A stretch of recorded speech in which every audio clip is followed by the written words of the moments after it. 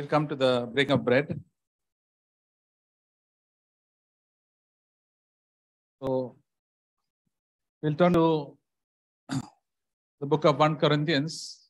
पहला कुरिन्थियों निकालेंगे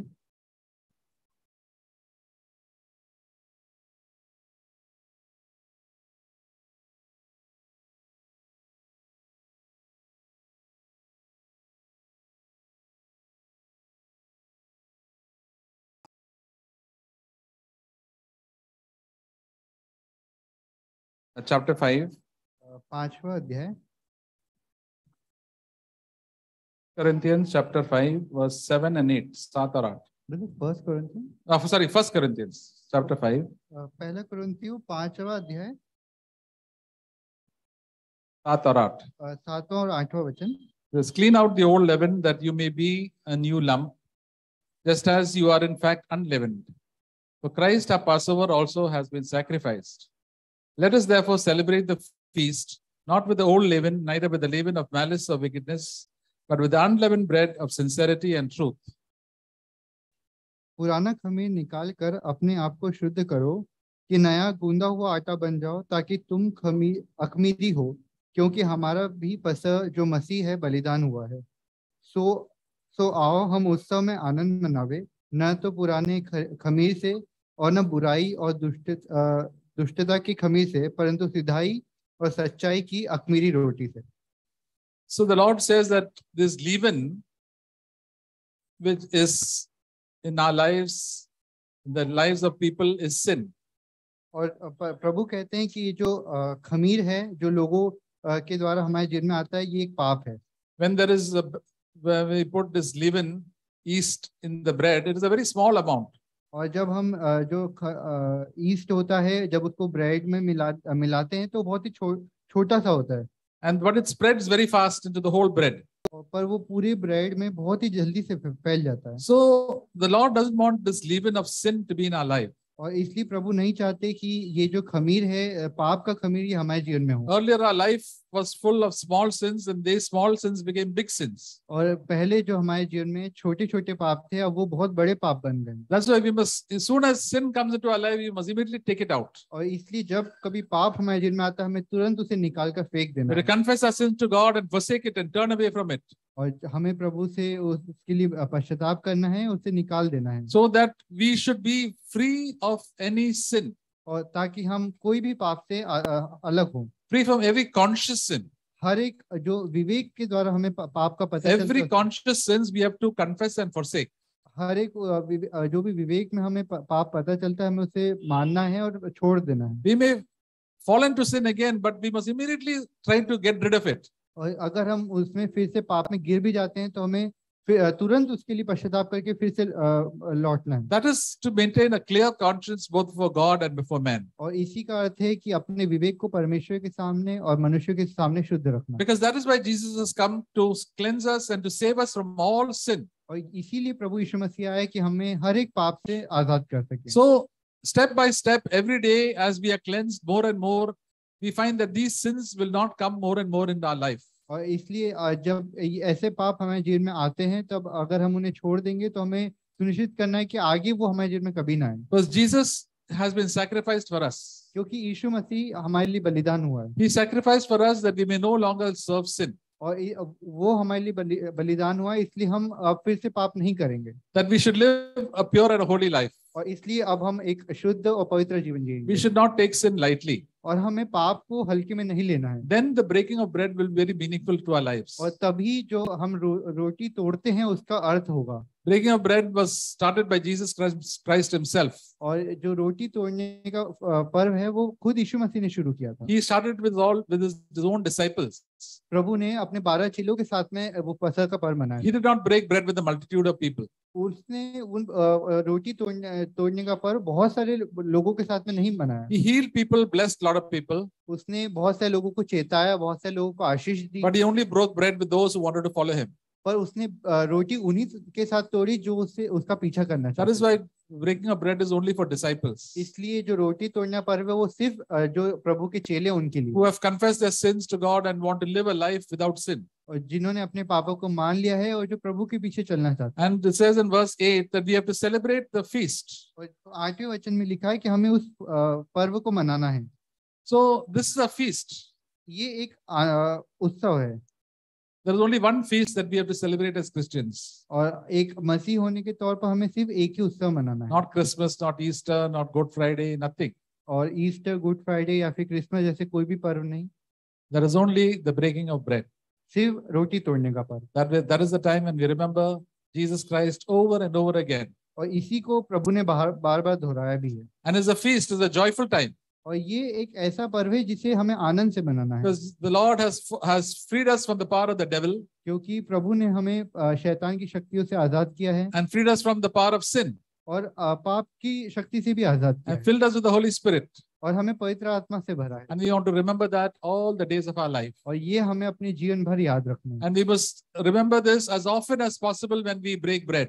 और ये हमें हर समय याद करना है जब कभी हम रोटी तोड़ते हैं। We must not make it a tradition, और इसे हमें एक ट्रेडिशन के तौर पर नहीं मनाना। But we must remember do it meaningfully और इसे हम अर्थ के साथ मनाएँ। Many many churches they just do it out of the tradition और वो रीति रिवाजों की तरह बहुत सारी कलीसियाँ ऐसा करती हैं। As if it is like some prasad वो सिर्फ़ एक प्रसाद की तरह। No but we must say thank you lord when i take this bread and drink this cup i remember that your body was broken for me and you you shed your blood for और जब हम इसे इस पर्व को मनाते हैं तो हमें सिर्फ़ ये स्मरण करना है कि हाँ प्रभु आप मेरे लिए बलिदान हुए आपका लहू मेरे पापों के लिए बहाया गया, make me pure and holy, ताकि मैं आज़ाद हो सकूँ मुझे मैं मैं पवित्र बन सकूँ can live in fellowship with you, I can see you for all eternity. और मैं ताकि आपके साथ संगति में रह सकूँ और आपको अनंत काल तक के लिए आपके साथ में रह have made me a king and a priest. आपने मुझे एक रा, राजा और एक याजक के समान बनाया You made me your friend.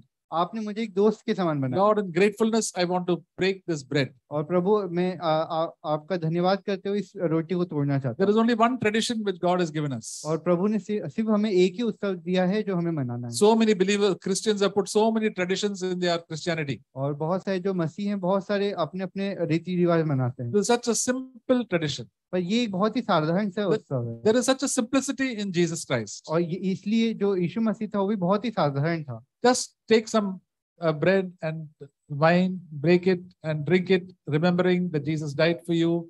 He was suffered for you.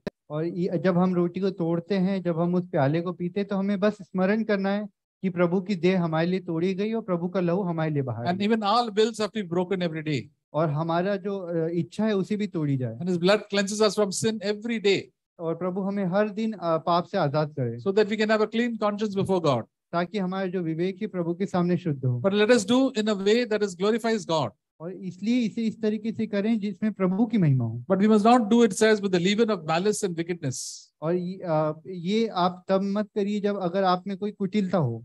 So there should not be any hatred and ill feeling towards any human being हमारे हृदय में किसी के प्रति भी कोई भी घृणा की भावना या ईर्ष्या की भावना नहीं होनी we should not keep any secrets in our own life हमें कोई भी हमारे जेब में जो गुप्त पाप है नहीं रखना है। Because then that will not honour god और क्योंकि वो प्रभु का अनादर करता है। Because we have to confess it हमें गॉड एंड आस्क फॉरगिवनेस हमें प्रभु से माफ़ी मांगनी है पश्चाताप करना है प्रभु के सामने उसका प्रायश्चित करना है। And ask god to help that we may live a life that is pleasing to god और प्रभु से मदद मांगनी है कि प्रभु के लिए एक महिमा का जीवन जी सके। Then the lord will definitely free us from every sin और तब प्रभु हमें बिल्कुल उस पाप से आज़ाद करेंगे। But how with what attitude we should have हमारे अंदर क्या व्यवहार होना चाहिए? But with unleaven bread of sincerity and truth जो अखमीरी रोटी है।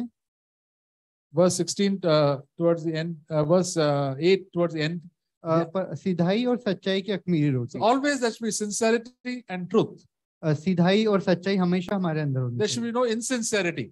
और कोई भी हमारे अंदर अनुशासनहीनता नहीं होना we should not hide anything from god हमें कोई भी बात प्रभु से छुपानी नहीं because god looks at our hearts क्योंकि प्रभु हमारे हृदय को जानता है। And we must not do it out of tradition we should be out of truth हमें ये रीति रिवाज की तरह नहीं पर सच्चाई के तौर पे and then there will be a blessing to us ये हमारे लिए आशीष का कारण है। Why it is a blessing to us क्यों ये हमारे लिए आशीष का Because we humble ourselves and acknowledge that it is God who has done everything for us. We humble ourselves. और क्योंकि हम इसके इस उत्सव के लिए अपने आप को दीन और नम्र करते हैं And whenever we humble ourselves, we get grace from God.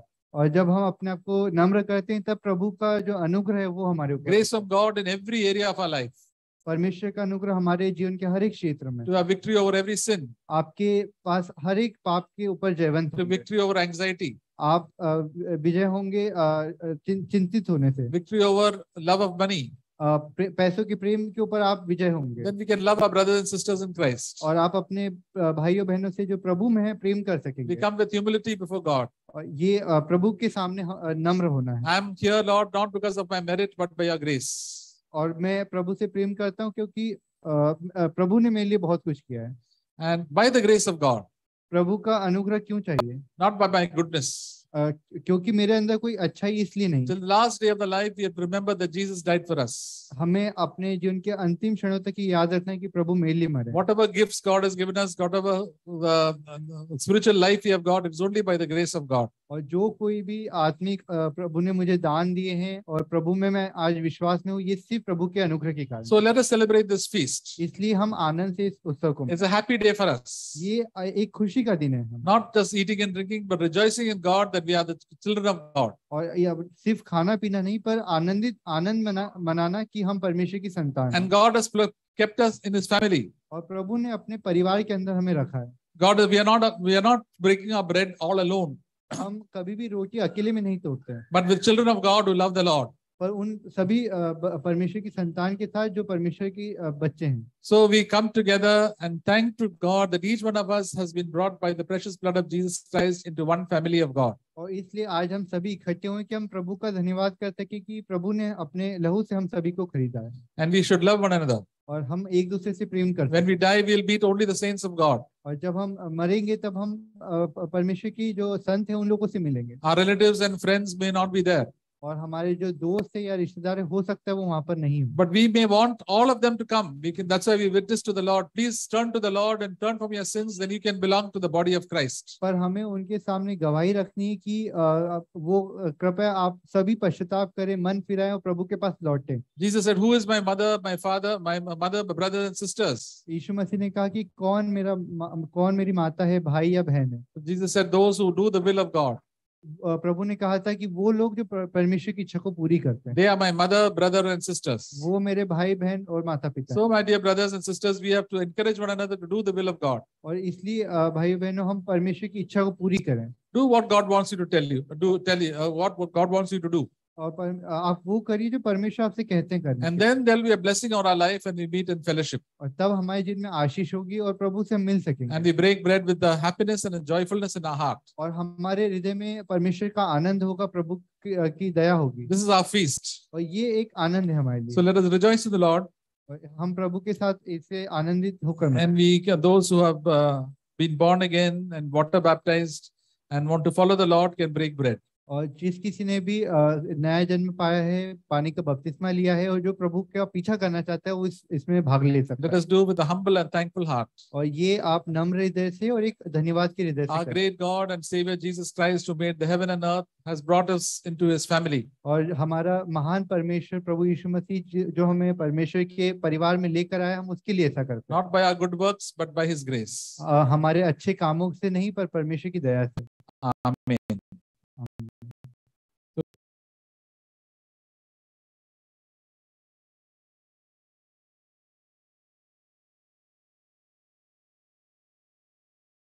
Welcome to the breaking of bread.